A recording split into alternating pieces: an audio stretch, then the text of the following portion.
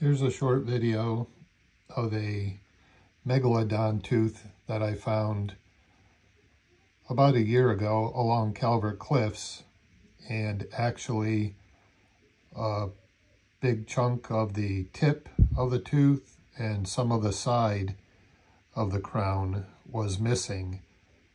I decided earlier this year to send it off to somebody for repair and I just got it back in the mail today. So wanted to just show what the tooth looks like. It's approximately four and a half inches on its longest slant side.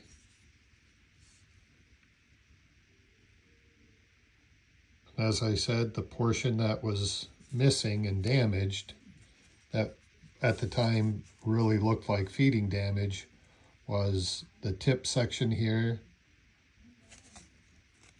and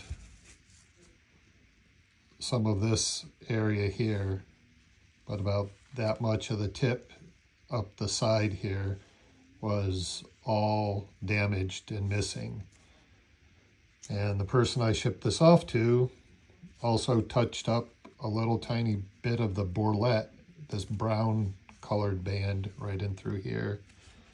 And they did an absolutely fantastic job because even as a seasoned collector of almost 30 years, it's almost difficult to detect where they made the repairs and they matched the colors perfectly. And I'm, needless to say, quite pleased with this uh, somewhat of a late Christmas present to myself.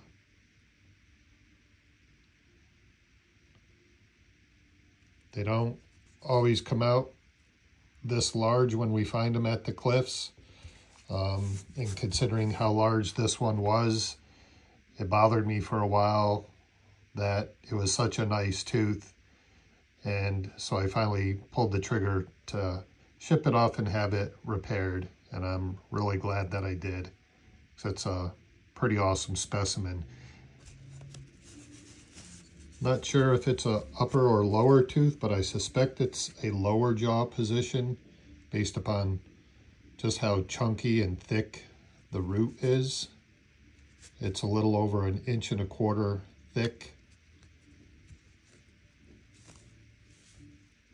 And when I found this tooth, it was actually sticking straight up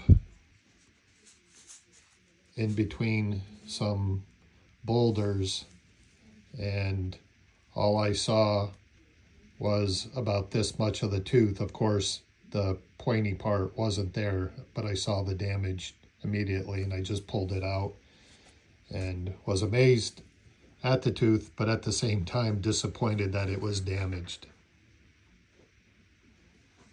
So there you have it.